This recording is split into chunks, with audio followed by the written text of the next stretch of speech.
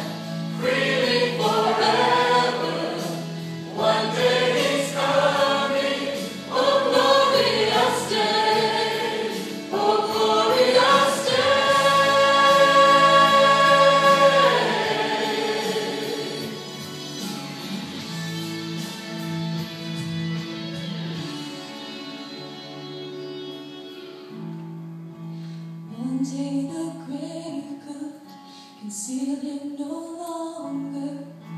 One day the storm rolled away from the door. Then he arose oh, over death he had come.